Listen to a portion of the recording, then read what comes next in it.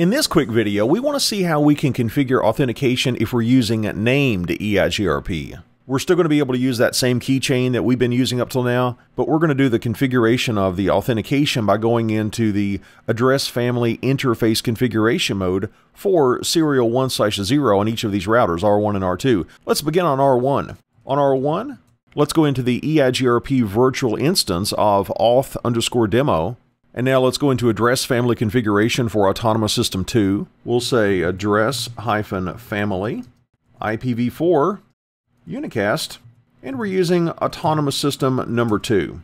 Now let's go into the address family interface configuration for serial 1/0. We say AF hyphen interface and give the interface identifier. It's serial 1/0, and now we can give our authentication commands. First, let's set the authentication mode. We'll say authentication mode. And if we use context sensitive help, we're going to see that in addition to MD5, which was our only option in our prior two videos, we now have an option for SHA, secure hash algorithm, which is considered to be a bit more secure. So we do have that option for named EIGRP authentication, but we did not for the traditional EIGRP configuration. So please be aware that that is an option, but we're going to set up MD5 as we've been doing. I'll say the authentication mode is MD5.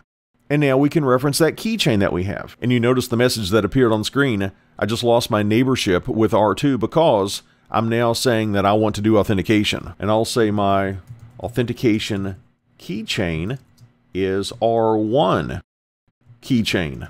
Now let's go give a similar configuration on router R2.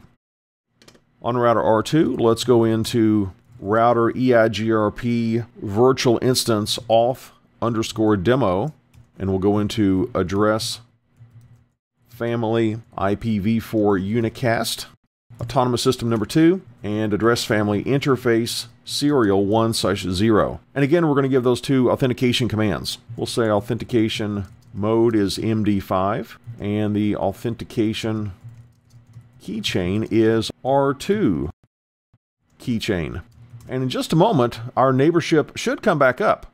Let's give it a couple seconds and see if it reestablishes. There it is. It says we have a new adjacency. And the verification commands we could use if we're trying to do some troubleshooting, we could do a show keychain to check out the configuration of our keychain. We do have one that's valid. And we might want to go between our routers and do a show keychain here as well, just to make sure that the keys are matching up. If we're doing troubleshooting, that's one thing we could do first. We could also do a show IP EIGRP interfaces command, just to make sure that the interfaces we think are participating in EIGRP really are. And we can see if we have any neighbors with a show IP EIGRP neighbors command, and we do have a neighbor. So what we've done in this short video is we saw how to configure MD5 authentication, and we saw that SHA was also an option, but we did MD5 authentication by going into address family interface configuration mode for the interface on which we wanted to turn on authentication. We specified the mode and we specified the keychain we wanted to use.